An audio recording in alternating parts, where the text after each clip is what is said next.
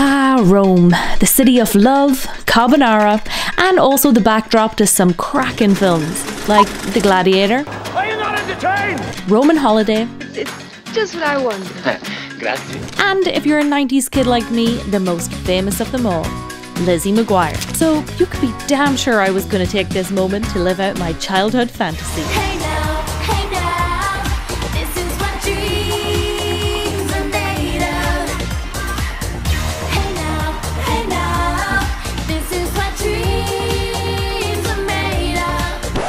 of. Alright, let's take it back to where it all began at the airport. But today we are going to Italy. Good morning, ladies and gentlemen. You're all very welcome on board this Strand flight taking you to Ciampino.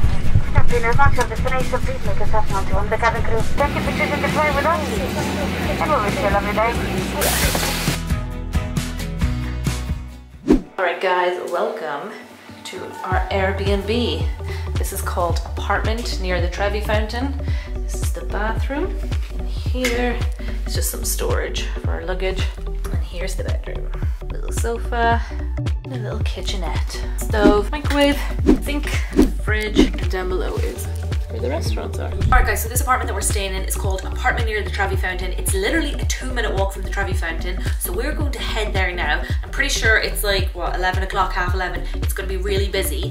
So the plan is to go back tomorrow morning, really early. And this afternoon, we have something very fun planned and it's one of my first travel collabs and I'm so excited to do it. So let's go explore Rome. So when I said we were coming to the Trevi Fountain tomorrow, this is why. People everywhere. So early bird catches the worm. We're gonna come back here tomorrow. Let's go get something to eat. We are starving. yes, please. Thank you. Salute. Salute. Oh, it's nice. We've come to just a random bar. We avoided the tourist area, so we're now eating surrounded by Italian people. So we hope it's good. It's.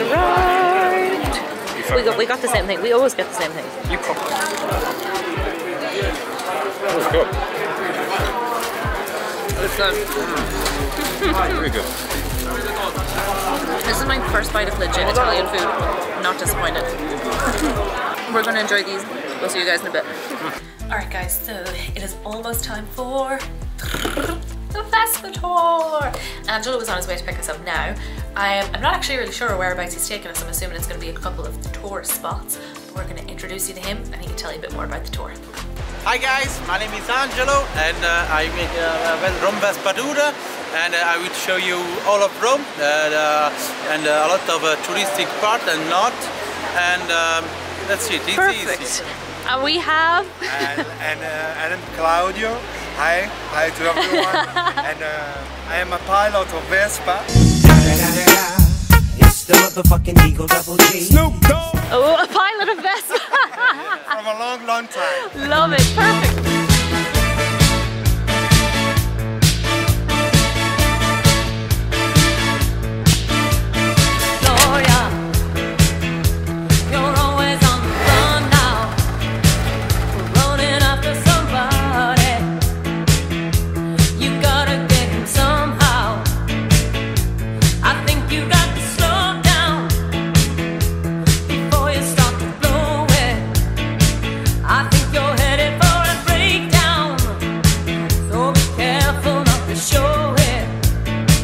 One of the first stops on the tour is the famous Colosseum, where Angelo tells us some fun facts about this world wonder. Now, we've all learned about gladiator fighting from our school history classes, but did you know that they used to bring animals here to fight as well? Some of the animals include lions, tigers, rhinos, crocodiles, and bears. It's estimated that over 400,000 people and over a million wild animals died during the centuries that the games took place. Next, we drove past Circus Maximus, which was once the grounds for chariot racing but is now a public park. And we made our way towards Giardino degli Aranci, an orange tree garden which has the best view for sunset and it's super, super romantic. Oh my god, wow, look at this. This is our river, the name is uh, Tevere. This is the maybe the best district in Rome. The name is Trastevere because in the Latin language Trastevere is the other side of the Re- Tevere river. You can see the, the wolf, no? Oh, wolf the is a, a symbol of uh, ancient Rome, do you know, for No. the legend of Romolo and Remo, no? So, the story of Romulus and Remus that Angelo told us is that there's a legend that twin brothers who were abandoned by their parents as babies were put into a basket that was then placed into the river Tiber. The basket was discovered by a female wolf, and the wolf nursed the babies until they were found by a shepherd. So, when Romulus and Remus became adults, they decided to found a city where the wolf had found them. The brothers argued over where it should be, and Remus was killed by his brother. This left Romulus the sole founder of the new city, and he gave his name to it Rome. If you come in Rome 70 years ago, the tourists can see uh, in the city center near the Piazza Venezia a real wolf. What? But uh, it's a sad story because this wolf, after two years, uh, di- died. because they every time alone and sad. After learning all about Romulus and Remus, Angelo let me have a go at kickstarting the Vespa. One, two, three. Oh, I'm not strong enough. One, One, two, three. I did it. Thank you. We made our way up to Aventine Hill to look through a secret peephole, but I'm not going to show you that because I want it to be a surprise. So, continuing on, Angelo and Claudio drove us through all the beautiful streets of Rome, and we made pit stops at all the important historical ruins and sites like Marcello Theatre. Angelo died uh, very young, and uh, for this reason, uh, Augustus uh, made this for uh, his nephew. And this is the, Now, after all that driving, it's time for an espresso. So we hit up Sant'Eustachio Il Cafe. This coffee shop is famed for its home roasted beans and it's blended with water from an ancient aqueduct. Inside is like an entire coffee museum.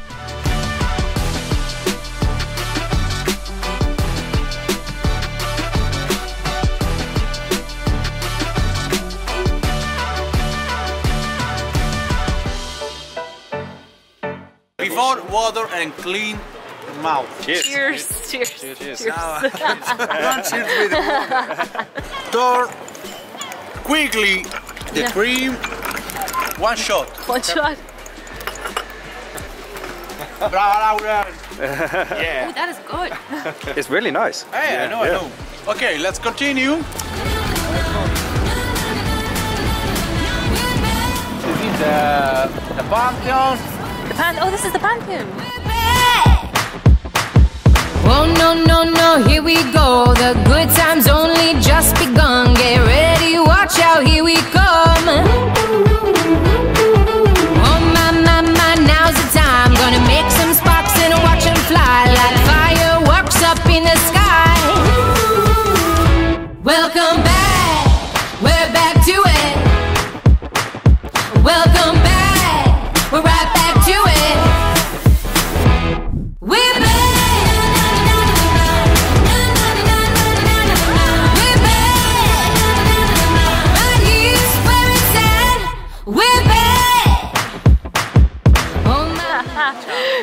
my. Thank you so much.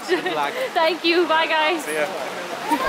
We've come to the Albert. How was the Vespa tour? Really, really good. Really fun. It was Yeah. um, super informative.